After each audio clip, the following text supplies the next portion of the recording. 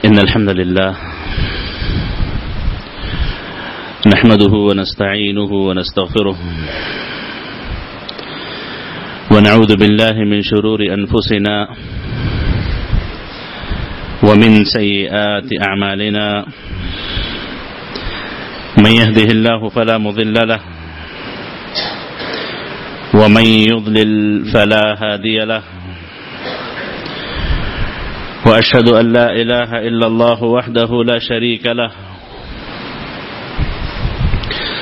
وأشهد أن محمدا عبده ورسوله. صلى الله عليه وعلى آله وصحبه وسلم تسليما كثيرا. يا أيها الذين آمنوا اتقوا الله حق تقاته. ولا تموتن إلا وأنتم مسلمون. يا أيها الناس اتقوا ربكم الذي خلقكم من نفس واحدة وخلق منها زوجها وبث منهما رجالا كثيرا ونساء. واتقوا الله الذي تساءلون به والأرحام. إن الله كان عليكم رقيبا. يا أيها الذين آمنوا اتقوا الله وقولوا قولا سديدا. يصلح لكم أعمالكم ويغفر لكم ذنوبكم. ومن يطع الله ورسوله فقد فاز فوزا عظيما. أما بعد فإن خير الكلام كلام الله وخير الهدى هدى محمد صلى الله عليه وآله وسلم وشر الأمور محدثاتها وكل محدثة بدعة وكل بدعة ضلالة وكل ضلالة في النار. قال الله جل شأنه في كتابه المجيد وقال ربكم ادعوني أستجب لكم. إن الذين يستكبرون عن عبادتي سيدخلون جهنم داخرين.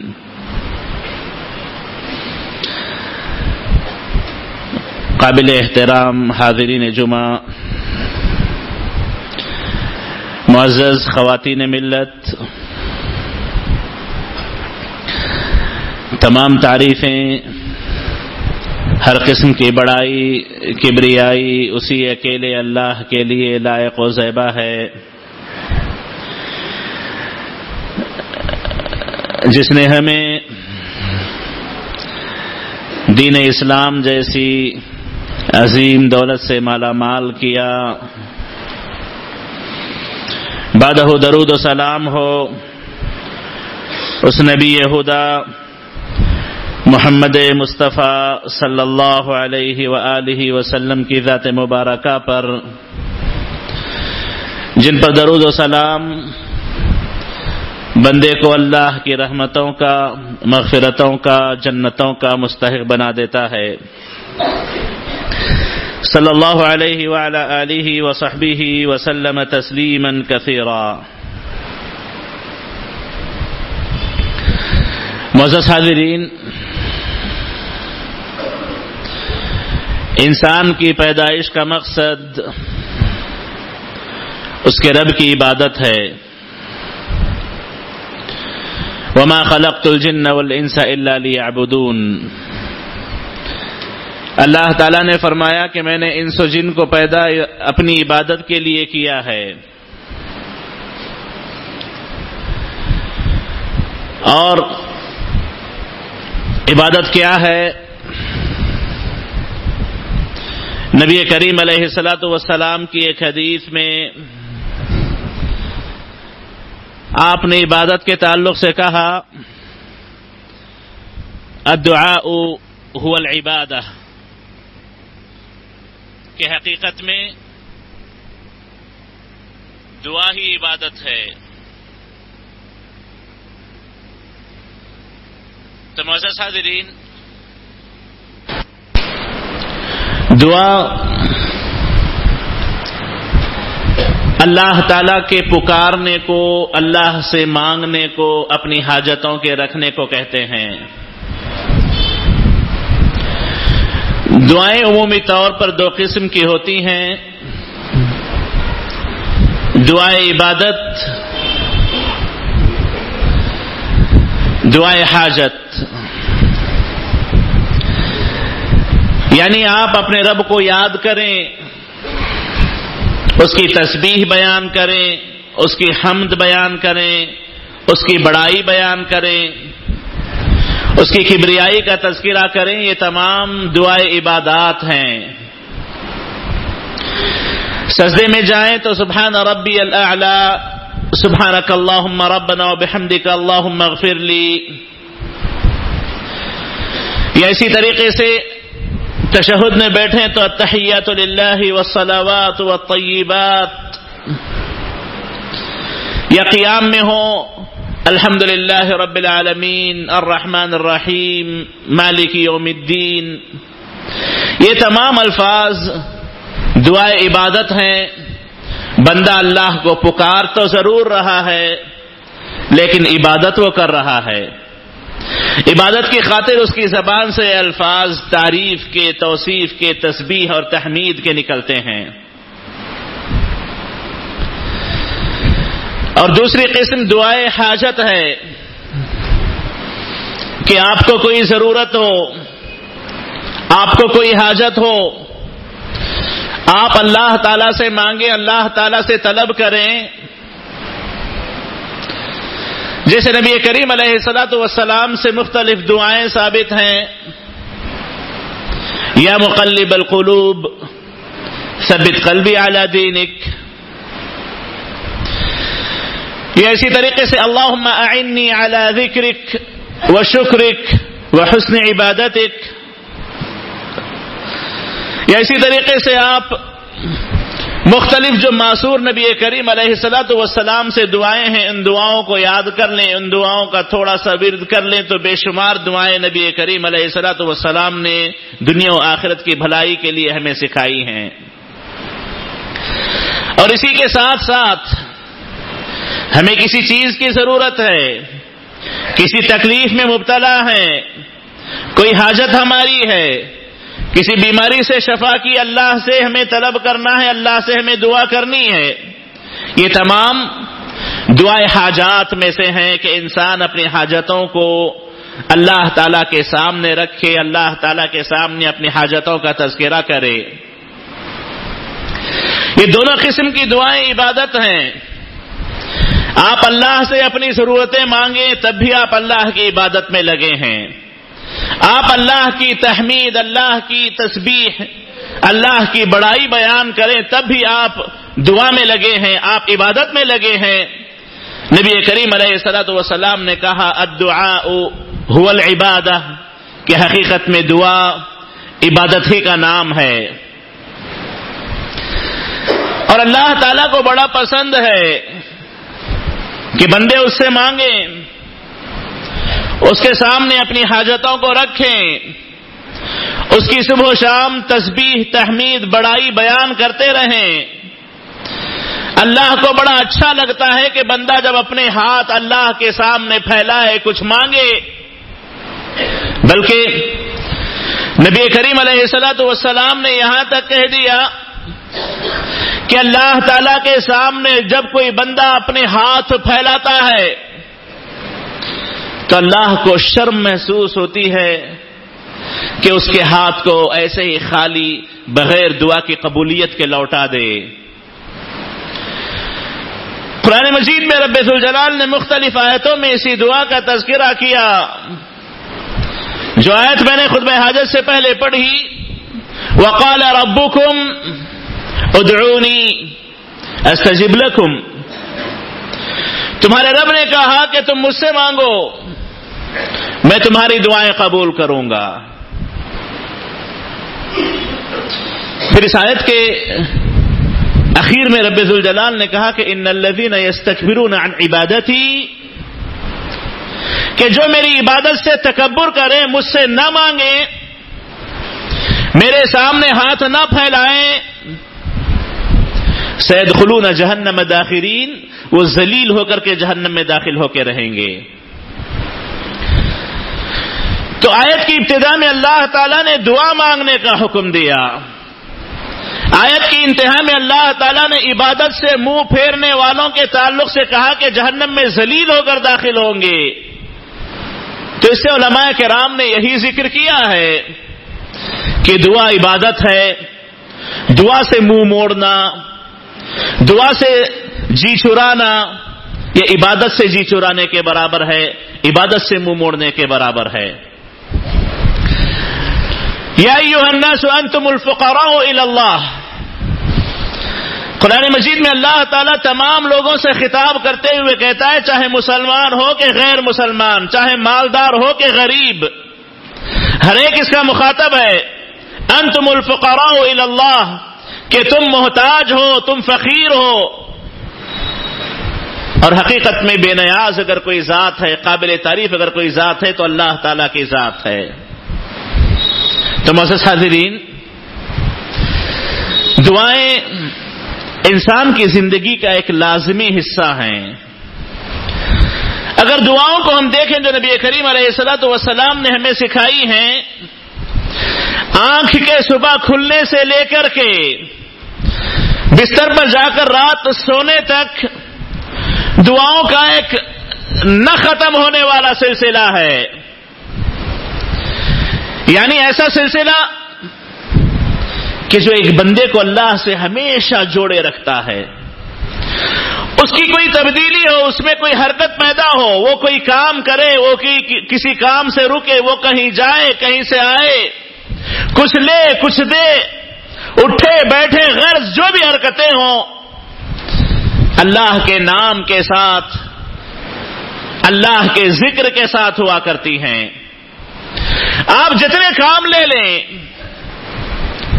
اس میں یقیناً نبی کریم علیہ السلاۃ وسلام کی طرف سے کوئی نہ کوئی ارشاد، کوئی نہ کوئی توجیح کوئی نہ کوئی سبق ضرور سکھایا گیا ہوتا ہے۔ تو محسوس حاضرین، دعا در حقیقت عبادت ہے۔ اور اسی طریقے سے دعا در حقیقت اللہ اور بندے کے درمیان ایک مضبوط رشتہ ہے۔ ایک مضبوط تعلق ہے۔ یہی وجہ ہے کہ اللہ تعالی نے ان لوگوں کو جو اللہ سے نہ مانگتے ہوں، اللہ سے نہ طلب کرتے ہوں، جہنم میں ذلیل کر کے داخل کرنے کا حکم دیا، ان کے تعلق سے خبر سنائی کہ ذلیل ہو کر کے جہنم میں داخل ہوں گے۔ وجہ یہ ہے کہ ان لوگوں نے اپنا تعلق اللہ سے کاٹا۔ ان لوگوں نے اپنا تعلق اللہ سے ختم کر لیا۔ تو مسز حاضرین اللہ سے تعلق، اس کا ایک بہترین ذریعہ یہ دعائیں ہیں۔ آپ بسم اللہ کہہ لیں، کسی بھی کام کے کرنے سے پہلے، کچھ لینے سے پہلے، کچھ دینے سے پہلے، کچھ کہنے سے پہلے۔ یقیناً، یہ اللہ کا ذکر ہے، یہ اللہ کی یاد ہے۔ فد قرونی اللہ نے کہا کہ مجھے یاد کرو تو میں تمہیں یاد رکھوں گا۔ مجھے یاد کرو تو میں تمہیں یاد رکھوں گا۔ بسم اللہ اللہ کے نام سے میں شروع کرتا ہوں۔ اللہ کے نام سے میں داخل ہوتا ہوں۔ اللہ کے نام سے میں لیتا ہوں۔ اللہ کے نام سے میں دیتا ہوں۔ اللہ کے نام سے میں اٹھتا ہوں۔ اللہ کے نام سے میں بیٹھتا ہوں۔ یعنی اس کی پوری زندگی کی حرکات و سکنات اگر ہم دیکھیں تو اللہ کی مدد، اللہ کے نام کے ساتھ ہوتی ہے تو گویا یہ دعائیں ہیں۔ اللہ کا نام دعا ہے اللہ کا نام آپ لیں اللہ سے کچھ مانگیں اللہ سے طلب کریں اللہ کے سامنے اپنی حاجت رکھیں یہ تمام چیزیں اللہ سے اپنے تعلق کو مضبوط کرتی ہیں تو مزہ حاضرین، دعا زندگی کا ایک اٹوٹ حصہ ہے، جس سے کوئی مسلمان بندہ کبھی بے نیاز نہیں ہو سکتا، اور جو اس سے بے نیازی برتے اللہ تعالیٰ نے ان لوگوں کا ان لوگوں کا نتیجہ بیان کر دیا۔ مزہ حاضرین، دعائے حاجت عام طور پر مختلف حاجتوں کے وقت، مختلف مصیبتوں میں، مختلف آزمائشوں میں بندہ اللہ تعالیٰ سے مانگتا ہے، اللہ تعالیٰ سے طلب کرتا ہے۔ اور جو شریعت کا پابند ہو دعائیں حاجت ہو کہ دعائیں عبادت دونوں اعتبار سے اپنے آپ کو اللہ سے وہ جوڑے رکھتا ہے۔ تو جب زندگی کا خلاصہ عبادت اور دعا عبادت ہے، تو اس کے اپنے شروط ہیں، اس کے اپنے آداب ہیں، اس کے اپنے تقاضے ہیں۔ اور جس طریقے سے انسان زندگی گزارتے ہوئے کچھ اوقات میں اپنے اندر نشات چستی محسوس کرتا ہے، کچھ اوقات میں کچھ زیادہ کام کر لے جاتا ہے۔ کچھ اسی کی مثال آپ سمجھیں کہ کچھ اوقات ایسے ہوتے ہیں جہاں پر جن اوقات میں دعائیں زیادہ قبول اللہ کی طرف سے ہوتی ہیں۔ کچھ جگہیں ایسی ہوتی ہیں جہاں اللہ تعالیٰ دعائیں جہاں سے زیادہ قبول کر لیتا ہے۔ کچھ لوگ ایسے ہوتے ہیں جن کی اللہ تعالیٰ دعائیں عمومی طور پر کچھ زیادہ سن لیتا ہے۔ کچھ حالات ایسے ہوتے ہیں کہ جن حالات میں اللہ دعائیں زیادہ سن لیتا ہے، ورنہ دعاؤں کا سننا، دعاؤں کا قبول کرنا، یہ رب ذوالجلال کی صفت ہے۔ رب ذوالجلال ہمیشہ اللہ کے بندوں کی پکار کو سنتا، ان کی دعاؤں کو قبول کیا کرتا ہے۔ تو مزد حاضرین انسان ہمیشہ اللہ تعالیٰ کو یاد کرے، اللہ تعالیٰ کے سامنے اپنی مختلف حاجتوں کو رکھے، پورے اخلاص کے ساتھ، پوری توجہ کے ساتھ۔ اور یاد رکھے نبی کریم علیہ السلاۃ والسلام نے یہ بات بھی ذکر کی ہے کہ جو دعائیں بغیر توجہ کے، بغیر توجہ کے اللہ سے مانگی جاتی ہیں دل کہیں اور ہو، توجہ کہیں اور ہو، سوچ کسی اور میں ہو، زبان سے دعائی الفاظ نکلتے جا رہے ہوں، ایسی دعاؤں کی اللہ کے ہاں کوئی لاج نہیں ہوتی، ایسی دعائیں اللہ کے ہاں قبول نہیں کی جاتی۔ حاضرین، جب بندہ نماز کے لیے ٹہرے، نماز سب سے افضل عبادت ہے۔ الحمد للہ رب العالمین، الرحمن الرحیم، مالک یوم الدین، نماز میں یہ دعائیں کرتا جائے۔ دن سرات المستقیم سرات الدین انعمت علیہم یہ اللہ سے اپنی ہدایت کی دعائیں مانگتا جائے۔ اور ایک طرف اللہ تعالیٰ کہے کہ بندہ مجھ سے مانگے تو میں شرماتا ہوں کہ اس کے ہاتھ کو خالی لوٹا دوں۔ تو کیا بات ہے کہ ہماری دعائیں روزانہ صبح و شام ہماری زبانوں سے نکلتی ضرور ہیں، لیکن ہمیں ہدایتیں نصیب نہیں ہوتی۔ ہمیں سرات مستقیم پر سبات قدمی نصیب نہیں ہوتی۔ ثابت قدم نہیں رہ پاتے۔ وقتاً فوقتاً اس سبات قدمی میں خلل پیدا ہو جاتا ہے۔ کبھی ادھر تو کبھی ادھر بھٹکنے لگتے ہیں۔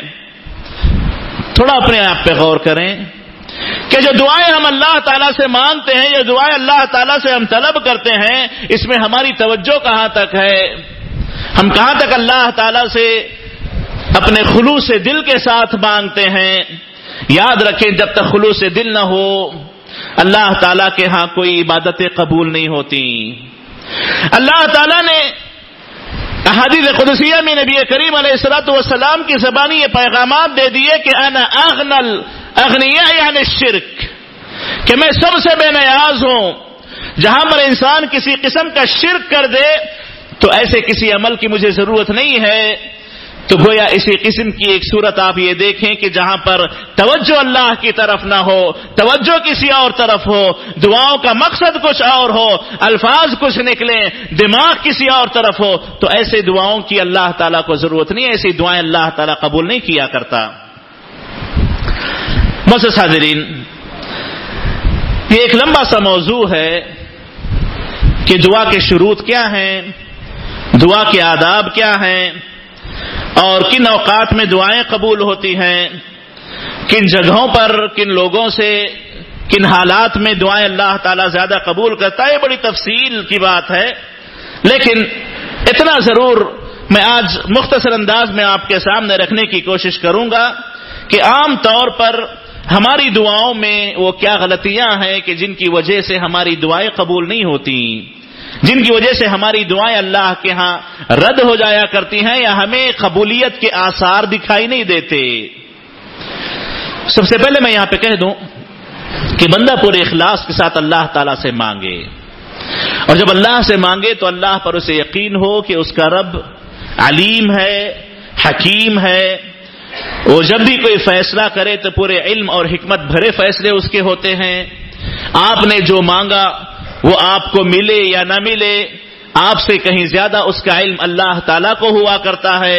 وہ جانتا ہے کہ اس چیز کے آپ کے مل جانے میں آپ کا کتنا فائدہ یا کتنا نقصان ہے۔ وہ انسان کا بھلا چاہتا ہے، وہ اس کے بھلے کے لیے مختلف فیصلے ارشاد، فیصلے صادر کرتا ہے۔ کبھی بندہ سمجھ پاتا ہے، کبھی سمجھ نہیں پاتا۔ تو جب دعا کرے تو سب سے پہلے یہ ذہن میں رکھیں کہ جو آپ نے مانگا ہے، جو چیز آپ نے طلب کی ہے، جیسے کسی نے کامیابی مانگی، کسی نے تجارتوں میں نفع مانگا کسی نے بیماریوں سے شفا مانگی، کسی نے دشمن سے نجات طلب کی، کسی نے کسی قسم کی مختلف جو حاجتیں ہیں، وہ حاجتیں اللہ کے سامنے رکھی۔ اگر وہ فوری طور پر اسے حاجتیں نہ ملیں، تو یہ اپنے ذہن میں ضرور رکھیں۔ کہ دعائیں اللہ کے ہاں رائے گا نہیں جائیں گی، بیکار نہیں جائیں گی۔ کم از کم مانگتے ہوئے جتنا وقت اس نے اللہ کے سامنے گزارا ہے، جو آنسو اللہ کے سامنے اس نے بہائے ہیں، یا جو تکلیف میں اللہ کو اس نے پکارا یہ کبھی اللہ ضائع نہیں کرے گا۔ اس کا بھی اجر و ثواب ہے۔ یہ عبادت ہے جو آپ نے ادا کی ہے۔ یہ عبادت ہے جو آپ نے اللہ کے حق میں پیش کی ہے۔ لیکن ساتھ میں یہ یقین رکھیں کہ فوری اگر قبول نہ ہو یا ظاہری طور پر اس کے قبولیت کے آثار یا آپ کی مانگی ہوئی چیز کے ملنے کے آثار نہ دکھائی دے، تو یاد رکھے علماء کرام نے دعاؤں کے تین نتائج عام طور پر ذکر کیے ہیں۔ ایک نتیجہ یہ کہ آپ نے مانگا آپ کو مل گیا۔ آپ نے مانگا آپ کو مل گیا۔ خلوص دل سے آپ مانگے تو اللہ تعالیٰ فوری آپ کو عطا کرتا ہے۔ ابراہیم علیہ السلط والسلام کا واقعہ لے ابراہیم علیہ السلط والسلام کو اور ان کی بیوی سارا کو جب بادشاہ نے پکڑ لیا تھا، دیکھا کہ بڑی خوبصورت عورت ہے، چاہا کہ اس سے فحش کام کرے، اس کے ساتھ برا کام کرے، ابراہیم علیہ السلط والسلام کی بیوی سارا نے اللہ سے دعا مانگی۔ اللہ سے انہوں نے دعا مانگی، تو فوری اللہ تعالی نے دعا قبول کر لی، اس بادشاہ کو روک دیا۔ کوئی ظاہری طور پر روکنے والا موجود نہیں تھا۔ بادشاہ اس کی طرف بڑھتے آ رہا تھا۔ بڑھنا چاہ رہا تھا، لیکن اس کے پیر روک دیے گئے۔ وہیں پر وہ گر پڑا۔ اور روایات میں آتا ہے کہ اپنے پیر پٹکنے لگا، جیسے کوئی تڑپتے ہوئے اپنے پیر پٹکتا ہے۔ تڑپتے ہوئے اپنے پیر پٹکتا ہے، ویسے وہ اپنے پیر پٹکنے لگا۔ تو یاد رکھے، جب خلوص دل سے مصیبتوں، حاجتوں میں دعائیں مانگے، تو اللہ تعالیٰ فوری دعائیں قبول کرتا ہے۔ تو یہ ایک نتیجہ ہے۔ اور دوسرا نتیجہ یہ ہے کہ آپ نے دعائیں مانگی، آپ نے اللہ سے بہت کچھ مانگا، لیکن اللہ تعالی نے اس کی اپنی حکمت سے یہ فیصلہ کیا کہ یہ آپ کے حق میں مفید نہیں ہے۔ تو اس دعا کے بدلے اللہ تعالیٰ کسی آنے والی بلا کو آپ پر سے ٹال دیتا ہے۔ کسی بیماری کو، کسی مصیبت کو، کسی تکلیف کو، کسی نقصان کو اللہ تعالیٰ آپ پر سے ہٹا دیتا ہے، ٹال دیتا ہے۔ پتہ نہیں کتنی مصیبتیں ایسی ہیں جن سے ہم محفوظ ہیں۔ اسی لیے نبی کریم علیہ السلاۃ والسلام نے جو دعائیں ہمیں سکھائیں، اس میں سے ایک دعا یہ ہے کہ آپ کسی ایسے شخص کو دیکھو جو کسی فتنے میں مبتلا ہو، بیماری میں مبتلا ہو یا کسی آزمائش کا شکار ہو، تو کہو الحمد للہ آفانی مبتلا کا بھی وفضل اعلیٰ کثیر خلق تفضیلا کہ تعریف اس اللہ کی ہے کہ جس نے تمہیں جس آزمائش میں ڈالا ہے، اس سے مجھے محفوظ رکھا۔ جس آزمائش میں اللہ نے تمہیں رکھا ہے، اس سے میری حفاظت کر لی۔ ہو سکتا ہے کہ کسی بیماری سے آپ کی حفاظت ہو گئی ہو، کسی آزمائش سے آپ کی حفاظت ہو گئی ہو، آپ کی دعاؤں نے آپ کے لیے کوئی فائدہ اس انداز سے پہنچایا ہوگا کسی نقصان سے آپ بچ گئے ہوں۔ تو دوسرا نتیجہ عام طور پہ یہ ہوتا ہے کہ اللہ تعالیٰ دعاؤں کے بدلے میں آنے والی مصیبتوں کو ٹال دیتا ہے، مصیبتوں سے حفاظت کر لیتا ہے۔ تو بندہ اللہ کا شکر گزار رہے۔ اور ہم محسوس بھی کرتے ہیں، ہم اپنی زندگیوں میں دیکھتے بھی ہیں کہ کئی مرتبہ کوئی نقصان اٹھاتے اٹھاتے ہم بچ جاتے ہیں۔ کوئی ایکسیڈنٹ ہوتے ہوتے بچ جاتا ہے۔ یا کوئی مصیبت آتے آتے ٹل جاتی ہے۔ یا کوئی پریشان ہوتا ہے۔ بیماری میں ہے، اسے ڈر ہے کہ کہیں کوئی بیماری نہ لگی ہو، کوئی بڑی آفت نہ لگی ہو، ٹیسٹ کروائے فلاں چیزیں کروائے لیکن اللہ تعالیٰ اسے تمام بیماریوں سے صاف، نارمل اس کے ٹیسٹ نکل کے آ جائے۔ ہو سکتا ہے اس کی دعاؤں نے یہ اثر دکھایا ہو کہ اللہ نے اس سے کوئی بیماری ٹال دی ہو۔ یہ دوسرا اثر ہے۔ اور تیسرا نتیجہ، جب بندہ اللہ تعالیٰ سے دعائیں مانگے، آزمائشوں پر آزمائشیں آ رہی ہوں مصیبتوں پر مصیبتیں آ رہی ہوں، تکلیفوں پر تکلیفیں آ رہی ہوں، وہ پریشان نہ ہو۔ وہ پریشان نہ ہو، اللہ سے مایوس نہ ہو۔ اللہ سے مایوس نہ ہو۔ اسی لیے نبی کریم علیہ السلط والسلام نے جو دعا کے آداب بتائے ہیں یا دعا کے قبول نہ ہونے کے جو اسباب بتائے ہیں، دعا کے رد کیے جانے کے جو اسباب بتائے ہیں، اس میں سے ایک دعا کا رد ہونے کا سبب یہ بھی ہے، دعا کے قبول ہونے کا سبب یہ بھی ہے کہ جب تک بندہ جلد بازی نہ کرے، اللہ تعالیٰ دعائیں قبول کرتا ہے۔ جب جلد بازی کرنے لگے، اللہ دعائیں رد کر دیتا ہے۔ اللہ دعائیں قبول نہیں کرتا۔ رد ہو جاتی ہے دعائیں۔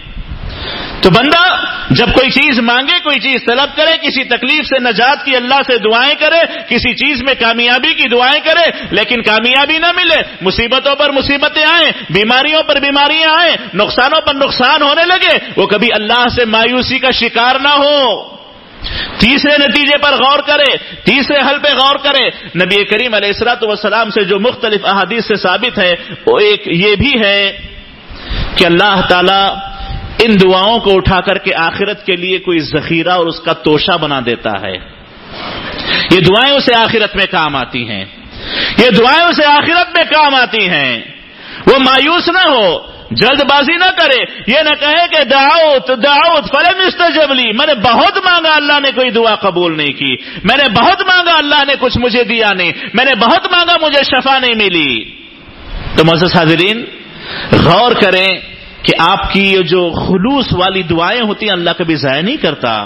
اللہ کبھی ضائع نہیں کرتا، لیکن اللہ تعالیٰ کے فیصلے بڑے حکمت بھرے ہوتے ہیں۔ اللہ تعالیٰ کے فیصلے بڑے دانائی بھرے ہوتے ہیں۔ اللہ تعالیٰ کی، اللہ تعالیٰ کی تدبیر بڑی مضبوط تدبیر ہوتی ہے۔ انسان اس حد تک سوچ نہیں سکتا، اس حد تک پہنچ نہیں سکتا جو خیر اللہ تعالیٰ بندے کے لیے رکھتا ہے، جو خیر اللہ تعالیٰ بندے کے لیے تدبیر کرتا ہے۔ تو مزہ حاضرین، یہ عام طور پر تین نتیجے اپنی دعاؤں کے اپنے سامنے رکھیں کہ ہم نے دعائیں مانگی، یا تو اللہ ہمیں وہ دے دے، یا پھر اللہ تعالیٰ کسی مصیبت کو ہم پر سے ٹال دے، یا پھر اللہ تعالیٰ یہ کرتا ہے کہ ان دعاؤں کو اٹھا کر کے آخرت کا ذخیرہ بنا دے، جس کے نتیجے میں اللہ تعالیٰ آخرت میں سرخرو اور کامیاب کرتا ہے۔ یہ دنیا میں کچھ مل جائے تو مل جائے، دنیا آنی جانی ہے اور آخرت کی زندگی، لہی الحیوان، اللہ تعالیٰ نے کہا کہ وہی ہمیشہ ہمیشہ رہنے والی زندگی ہے۔ تو معزز حاضرین دعاؤں کے مسائل میں، دعاؤں کے مسئلے میں کبھی مایوسی کا شکار نہ ہو، جلد بازی نہ کریں، اللہ سے مانگیں،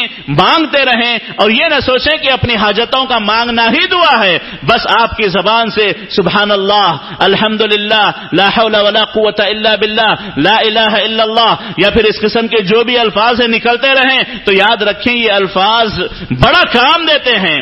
نبی کریم علیہ السلاۃ وسلام نے ایک حدیث میں جو صحیح بخاری کی ہے، آپ نے کہا کہ دو کلمات اللہ کو بڑے محبوب ہیں، کہنے میں بڑے آسان ہیں اور جب قیامت کا دن ہوگا، اسے تولا جائے گا تو سب سے وزنی ہوں گے، بڑے بھاری ہوں گے۔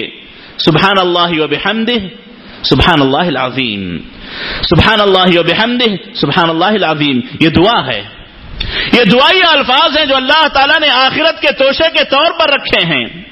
یہ آخرت کا توشا ہے جو آپ اپنی اس دنیا میں تیار کرتے ہیں۔ جب آخرت میں تولا جائے گا تو یاد رکھیں یہ سب سے وزنی، بہترین وزنی نکلیں گے۔ سبحان اللہ بحمدی، سبحان اللہ العظیم۔ تو کس طریقے سے اللہ نے آپ کی ان دعائی یا کلمات کو آخرت کا توشا آپ کے لیے بنا دیا؟ اور بعض روایت میں آتا ہے کہ بندہ لا حول ولا قوت الا باللہ، لا الہ الا اللہ، سبحان اللہ، اس قسم کے کلمات ادا کرے تو اللہ تعالیٰ اس کے بدلے میں اس کو جنت کے باغات یا جنت میں درخت لگا دیتا ہے۔ ایک ایک کلمہ کہتا جائے تو اللہ تعالیٰ اس کے جنت میں درخت لگا دیتا ہے۔ اور نبی کریم علیہ السلاۃ والسلام کی احادیث ہیں کہ نبی کریم علیہ السلاۃ والسلام نے جب ابراہیم علیہ السلاۃ والسلام سے ملاقات کی، ابراہیم علیہ السلاۃ والسلام نے اللہ کے نبی سے کہا کہ جاؤ اپنی امت کو بتا دو کہ جنت بالکل بیابان کی طرح ہے، کھلے میدان کی طرح ہے۔ اب ان میدانوں میں شجرکاری انہیں کرنی ہے، ان میدانوں میں درخت انہیں لگانے ہیں اب جتنی اللہ کی تسبیح کہیں گے، جتنی اللہ کی تحمید کریں گے، اللہ تعالیٰ اتنے درخت اس کے لیے لگاتا جائے گا، اتنے اس کی جنت اتنی ہری بھری اللہ تعالیٰ کرتا جائے گا۔ تو معزز حاضرین، دعائیں کبھی رائے گا نہیں جاتی، دعاؤں میں جلد بازیاں انسان کو نقصان پہنچاتی ہیں، اللہ سے دور کرتی ہیں، اللہ سے تعلق کاٹتی ہیں۔ اللہ تعالیٰ سے دعا ہے کہ اللہ تعالیٰ ہمیں اسے پکارنے، اس پر امید رکھنے، اس سے لو لگانے اور اسی کے سامنے سامنے جھکنے اور اسی سے ہمیشہ اپنے آپ کو لگائے رکھنے کی توفیق نصیب فرمائے۔ آمین۔ اقول قولی هذا واستغفر الله لي ولكم ولسائر المسلمين من كل ذنب فاستغفروه انه هو الغفور الرحيم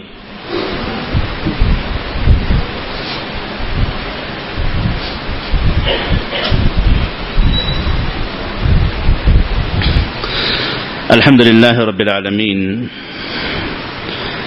والصلاة والسلام على نبينا محمد وعلى آله وأصحابه أجمعين. أما بعد. معزز حاضرین، دعاؤں میں عام طور پر جو غلطیاں واقع ہوتی ہیں، میں نے کچھ چیزیں ذکر کی۔ اس میں سے ایک یہ ہے کہ اگر اخلاص سے بندہ دعا نہ مانگے، اس کی دعاؤں میں خلوص نہ ہو تو ایسی دعائیں اللہ قبول نہیں کرے گا۔ اور یہ بھی میں نے ذکر کیا کہ جن دعاؤں میں توجہ آپ کی دعا کی طرف نہ ہو، زبان سے الفاظ نکل رہے ہوں اللہ انی ظلمت نفسی ظلما کثیرا ولا يغفر الذنوب الا انت، فاغفر لي مغفرة من عندك جو تشہد میں دعا پڑی جاتی ہے، یا پھر ایک دن سرات المستقیم سرات الدین انعمت علیہم۔ یا اس قسم کی جو دعائیں بندہ کرے توجہ اس کی طرف نہ ہو تو ایسی دعائیں بھی اللہ کے ہاں قبول نہیں ہوا کرتی اور میں نے یہ بھی ذکر کیا کہ دعاؤں میں بندہ جلد بازی نہ کرے۔ یہ نہ بولے کہ میں نے بہت مانگا اللہ دے, دے نہیں رہا ہے۔ اللہ قبول نہیں کر رہا ہے۔ کیونکہ جو جلد بازی کرتے ہیں اللہ تعالیٰ ان کی دعائیں قبول نہیں کرتا۔ ان کی دعائیں اللہ قبول نہیں کرتا جلد جلد بازی کیا کرتے ہیں۔ اور محسوس حاضرین اسی طریقے سے وہ اوقات یا پھر وہ اسباب جن کی وجہ سے دعائیں قبول نہیں کی جاتی، دعاؤں میں بندہ شرکی وسیلوں کو لے، شرکی وسیلے، جیسے عام طور پر ہم اگر کسی احناف کی مسجد میں نماز پڑھ لیں، تو ایک بدت رائج ہے، اجتماعی دعا، اور اجتماعی دعا کے اخیر میں صدقہ توفیل میں دعاؤں کی قبولیت اللہ سے طلب کی جاتی ہے۔ صدقہ توفیل میں اللہ تعالی سے دعاؤں کی قبولیت مانگی جاتی ہے۔ تو محسوس حاضرین، یہ ایک ایسا وسیلہ ہے جس وسیلے کا کوئی ثبوت قرآن و حدیث سے نہیں ملتا۔ بلکہ نبی کریم علیہ السلاۃ وسلام کی تعلیمات کے خلاف ہے کہ کوئی بندہ اللہ تعالی کو کسی ایسی بات کا وسیلہ دے، کسی ایسی بات کا واسطہ دے جو حقیقت میں قرآن و حدیث سے ثابت نہ ہو۔ بلکہ بدعت ہے اور بعض اوقات یہ عمل انسان کو شرک تک پہنچا دیتا ہے۔ شرک تک پہنچا سکتا ہے۔ علماء نے تھوڑا سا فرق کیا ہے۔ علماء نے تھوڑا سا فرق کیا ہے۔ عام طور پر اہل حدیث حضرات اس میں غلطی کر جاتے ہیں کہ اگر کوئی صدقہ طفیل کی دعا مانگ لے تو کہہ دیتے کہ اس نے شرک کر لیا۔ مسئلہ تھوڑا سا مختلف ہے۔ وہ مانگ اللہ سے رہا ہے۔ وہ دعا اللہ سے مانگ رہا ہے، لیکن صدقہ طفیل نبی کریم علیہ السلاۃ وسلام کا لگا رہا ہے، جو کہ ایک بدعی توسل ہے۔ ایک بدعت ہے، ایک گناہ ہے، ایک نافرمانی ہے، جو انسان کو اسلام سے مکمل باہر تو نہیں کر دیتی، اگر وہ سیدھے اللہ کے نبی سے مانگے، سیدھے قبر والے سے وہ مانگے، تو ایک کھلا شرک ہے، شرک اکبر ہے۔ یہ شرک اکبر ہے جو انسان اگر جانتے بوجھتے مانگے اور اسی پر مصر رہے تو اسے اسلام سے خارج کر دیتا ہے لیکن یا تھوڑی سی باریکی ہے، ابن تیمیہ رحمہ اللہ نے اور دوسرے مختلف علماء سلف نے اسی بات کو واضح کیا ہے کہ یہ بدعی دعا ہوتی ہے، اس دعا میں بدعت ہے، اس کی وجہ سے کسی انسان پر شرک کا فتوا نہیں لگایا جا سکتا جو صدقہ طفیل نبی کریم علیہ السلاۃ والسلام کا لے کر کے اپنی دعاؤں میں اللہ سے مانگے، کیونکہ مانگ وہ اللہ سے رہا ہے، لیکن بدعتی راستے سے اللہ سے وہ طلب کرنے کی کوشش کر رہا ہے، جو شران کسی صورت جائز نہیں ہے۔ تو عام طور پر یاد رکھیں، وسیلے دیں تو جائز وسیلوں کی کہ اللہ نے اجازت دی ہے، اگر کوئی دعا اپنی قبول کروانا چاہتا ہے، اللہ کے سامنے گڑ گڑانا چاہتا ہے، تو وسیلہ اللہ تعالیٰ نے بتایا، وسیلہ نبی کریم علیہ السلاۃ والسلام نے بتایا، وسیلہ یہ ہے کہ آپ اللہ کو اس کے ناموں کا واسطہ دیں، اس کی صفات کا واسطہ دیں۔ اسی لیے آپ دعاؤں میں دیکھیں گے، عام طور پر ان کا انت العلیم الحکیم ان کا انت الوہاب انت العزیز الحمید۔ یا اس قسم کے مختلف الفاظ جو نصوص میں آتے ہیں کہ اللہ یہ کام کر دے کیونکہ تو ہی کرنے والا ہے، تو ہی وہاب ہے، تو ہی معاف کرنے والا ہے، تو ہی غفور ہے، تو ہی عطا کرنے والا ہے، تو ہی زبردست ہے، تو ہی طاقتور ہے، تو ہی انتقام لینے والا ہے۔ یہ جو الفاظ ہیں، ہم اللہ کو واسطہ دیتے ہیں کہ اللہ تو ہی تو کرنے والا ہے، تجھے ہی تو کرنا ہے۔ اللہ، میرے لیے حق میں کام کر دے، مجھے عطا کر دے، مجھے اولاد دے دے، میرے مسئلے کو حل کر دے، میری بیماری کو دور کر دے مصیبتوں کو ہٹا دے۔ کیونکہ ان مصیبتوں کو دور کرنے والی ذات تیری ہے، تیرے علاوہ کوئی اور نہیں ہے۔ یہ وسیلہ ہے۔ یہ وسیلہ ہے، یہ وسیلہ اللہ سے لے۔ کسی اور وسیلے کی ضرورت نہیں ہے، نہ کسی صدقہ تو فیل کی، نہ کسی اور کے دامن کی۔ وسیلہ دے تو اللہ کو اللہ کی ذات کا وسیلہ دے، اللہ کو اللہ کی رحمتوں کا وسیلہ دے، اللہ کو اللہ کے اسماء و صفات کا وسیلہ دیں اور وسیلے کی دوسری قسم دعاؤں کے درمیان جو بندہ کر سکتا ہے وہ یہ ہے کہ اگر اس نے کوئی نیکی ویکی کی ہو، کوئی بھلائی کی ہو، کوئی اچھائی کی ہو، اور وہ چاہتا ہے کہ اپنی حاجت پوری کروائے اللہ تعالیٰ سے، تو اس نیکی کا وسیلہ دے دے کہ اللہ، میں نے فلاں دن فلاں کام کیا تھا، میں نے فلاں کو کھلایا تھا، میں نے فلاں کی مدد کی تھی، میں نے فلاں کی دوا دلائی تھی، میں نے فلاں کو راستہ دکھایا تھا۔ اے اللہ، اس کا واسطہ تو میری یہ مصیبت دور کر دے، تو مجھے شفا دے دے، تو میری آزمائش کو مجھ سے، آزمائش کو مجھ سے ہٹا دے۔ یہ اللہ سے اپنے اعمال کا وسیلہ دے اور قرآن مجید میں اس کے ہمیں اسباب، اس کے ہمیں، اس کے دلائل ہمیں ملتے ہیں۔ ربنا اننا آمنا فاغفر لنا دونوں بنا اے رب، ہم ایمان لائے ہیں۔ ہمارے اس ایمان کے بدلے میں، اے ہمارے رب، ہمارے گناہوں کی مغفرت فرما دے۔ تو اپنے کاموں کا وسیلہ دیا جا سکتا ہے۔ اور ایک حدیث مشہور ہے، آپ لوگوں کے نزدیک بھی پتا ہوگی، آپ کو بھی پتا ہوگی کہ تین لوگ جا رہے تھے، غار میں چھپ گئے۔ غار میں چھپے تھے کہ آپ ایک پتھر آ کر کے غار کا دروازہ، غار کا منہ بند کر دیا، پریشان ہو گئے۔ اب ان لوگوں نے دعائیں مانگی۔ ہر ایک نے اپنے اپنے نیک عمل کا وسیلہ دیا۔ اللہ نے فوری دعا قبول کر لی۔ اللہ نے فوری دعا قبول کر لی۔ جو پتھر آ کر کے ان کے غار کے دہانے کو بند کر چکا تھا اپنے نیک اعمال کے وسیلے سے دعاؤں کو اللہ نے قبول کیا، اللہ نے ہواؤں کے ذریعے پتھر کو ہٹا دیا، وہ بڑی آسانی کے ساتھ وہاں سے نکل گئے۔ تو یہ وسیلہ آپ دیں، کسی اور وسیلے کو نہ لیں۔ اور تیسرا وسیلہ جو ایک جائز وسیلہ ہے، جس میں بھی کافی گڑبڑ کی جاتی ہے، وہ وسیلہ یہ ہے کہ آپ کسی نیک آدمی کے پاس جس کو آپ نیک سمجھتے ہوں، جس کے تعلق سے آپ کے دل میں احترام ہے، آپ بڑی عزت کرتے ہیں اس آدمی کی، آپ سمجھتے ہیں کہ نیک بندہ ہوگا تو آپ اس کے پاس جا کر کے اپنا مسئلہ رکھیں کہ میں اس آزمائش میں ہوں، اس مصیبت میں ہوں۔ آپ اپنی دعاؤں میں مجھے بھی یاد رکھیں۔ آپ میرے لیے، میرے حق میں دعا کریں۔ جا کر کے ان سے التجا کر لیں۔ جا کر کے ان سے آپ گزارش کر لیں۔ وہ دعا کر لیں گے ان شاء اللہ تعالیٰ۔ اللہ نے چاہا تو ان کی دعائیں آپ کے حق میں قبول ہوں گی۔ آپ کی دعائیں آپ کے حق میں قبول ہوں گی۔ اللہ تعالیٰ آپ کی مانگی ہوئی چیز عطا کرے گا۔ تو مزہ حاضرین، شرکی وسائل اگر لیں گے بداتی وسائل اگر لیں گے، تو دعائیں قبول نہیں ہوا کرتی دعائیں قبول قبول نہیں ہوا کرتی۔ تو مزد حاضرین، دعا حقیقت میں عبادت ہے، دعا کے آداب، دعا کے احکام، دعا کے شروط اور دعا کے جو دعا کے نہ قبول ہونے کے جو مختلف وجوہات ہیں، ان تمام کا پہچاننا ہر مسلمان کے لیے ضروری ہے۔ وہ ان اوقات کا استعمال کرے جن اوقات میں اللہ تعالیٰ دعائیں قبول کرتا ہے اور ان اوقات سے بچے یا ان حالات سے بچے جن حالتوں میں اللہ تعالیٰ دعائیں قبول نہیں کرتا۔ معزز حاضرین، اپنی زندگیوں میں دعاؤں کو بڑی اہمیت دیں دعا اپنی زندگی میں یاد رکھیں ایک بہترین ہتھیار ہے۔ ایک بہترین تعلق ہے جو آپ کو اپنے رب سے آپ کو اپنے اللہ سے جوڑتا ہے۔ بڑی سے بڑی مصیبت آ جائے پوری دنیا کے لوگ پل پڑے پوری دنیا کے لوگ آپ کے خلاف بھی ہو جائیں۔ اگر اللہ آپ کے ساتھ ہے تو کوئی آپ کا بال بیکا نہیں کر سکتا کوئی آ, کوئی آپ کو نقصان نہیں پہنچا سکتا۔ اللہ تعالیٰ سے دعا ہے کہ اللہ تعالیٰ ہمیں دعا کے حکام دعا کے آداب دعا کی اہمیت کو سمجھنے کی توفیق نصیب فرمائے۔ اور اللہ تعالیٰ مرتے دم تک ہمیں اسی کو پکارنے والا اسی سے مانگنے والا اسی کے سامنے اپنی حاجتیں رکھنے والا، اسی کو منوانے والا، اسی سے حاصل کرنے والا بنائے۔ اللہ تعالیٰ ہمیں جب تک زندہ رکھے، قرآن و حدیث کا پابند بنا کر کے زندہ رکھے۔ منہج سلف پہ چلنے والا بنا کر کے زندہ رکھے اور جب موت دے تو اللہ تعالی ہمارا خاتمہ بالخیر فرمائے اور سوئے خاتمہ سے رب الجلال ہماری حفاظت فرمائے۔ آمین۔ ربنا لا تؤاخذنا ان نسينا واخطأنا۔ ربنا ولا تحمل علينا اصرا كما حملت والذين من قبلنا۔ ربنا ولا تحملنا ما لا طاقه لنا به۔ واعف عنا واغفر لنا وارحمنا۔ انت مولانا۔ فانصرنا على القوم الكافرين۔ سبحان ربك رب العزه عما يصفون وسلام على المرسلين۔ المرسلين والحمد لله رب العالمين.